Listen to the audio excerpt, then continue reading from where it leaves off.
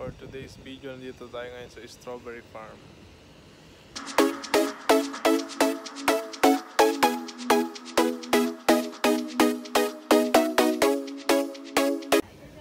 Ayan sila kuya. Magkano muna, register muna.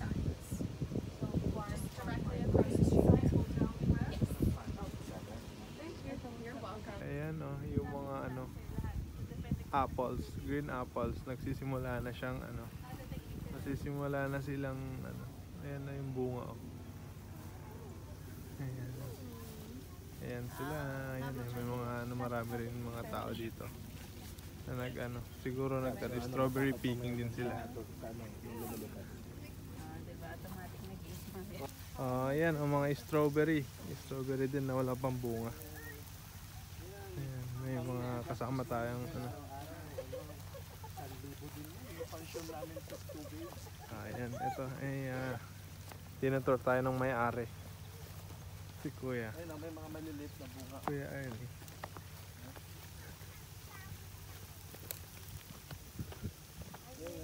Ano to eh, yung itong green apple na to, ano, uh, ano bang variety to? Makinig ka dun sa owner.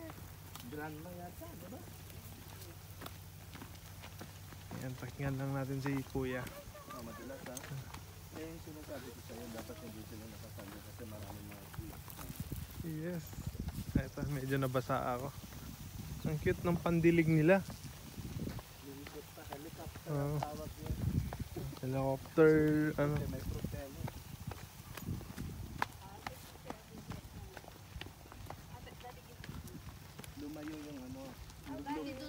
Doon lang kami doon sa lang baba. dati. This is it. Siguro dahil late na rin tayo lang. This travel pic.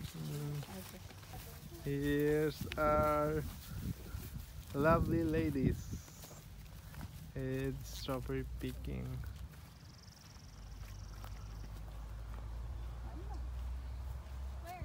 Nakabakasyon ka?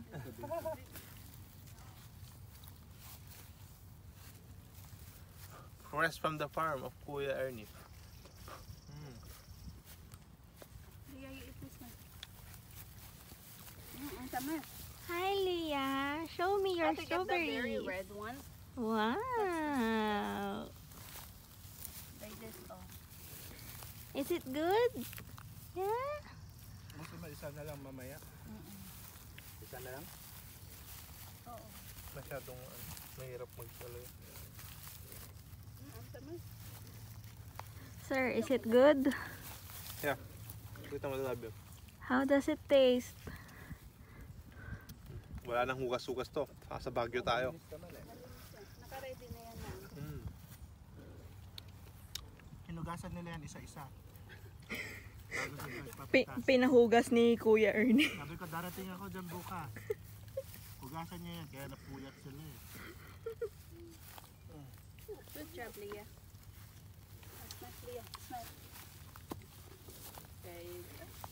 Hi, Ate Tilly. Show me that you you pick strawberry.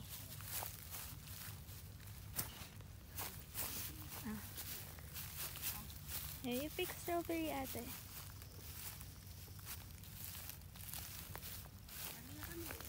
You pick the red one, okay?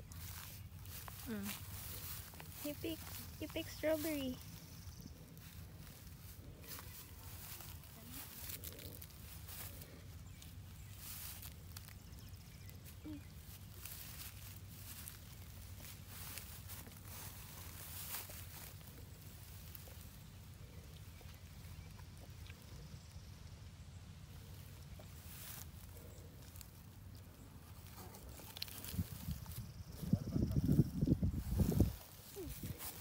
Show it here. Show it here what you picked.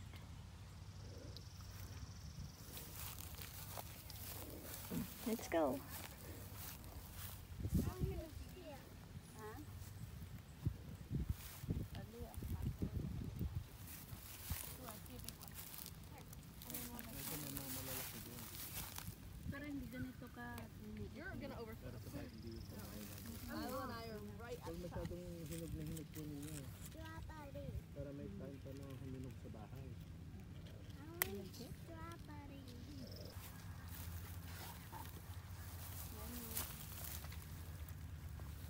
Oh wait, tita, tita is taking video. You go the other side.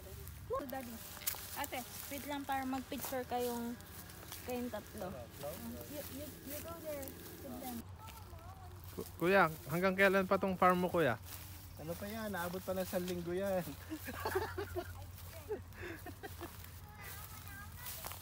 Linggo pa yan. Ah, sabi, Kaya ng, ubusin na natin yung laman. sabi nung may-ari si Kuya Ernie ha, hanggang next week pa daw to. Ano ang ganda. Ang cute, ang cute ng mga ano, mga strawberries na to. Ano siya, maliliit lang. Ayan oh. Ito. Oh. Ayan oh. Ang cute nila. Ayan yung mga bunga nila oh. Zoom out natin. Yun. Ayun.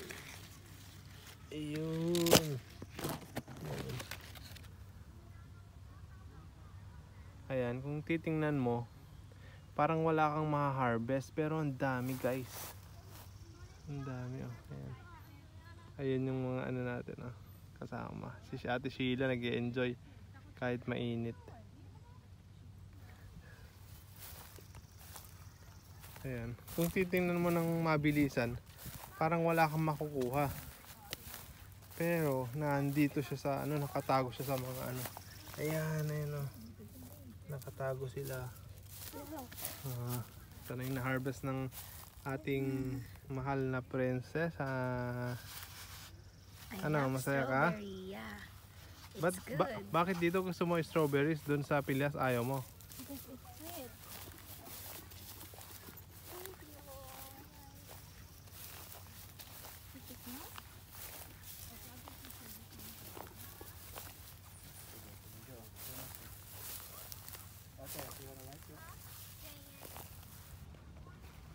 Ayan guys, punta muna kami sa lilim. Nabusog na kami sa ano, kakakain ng strawberry.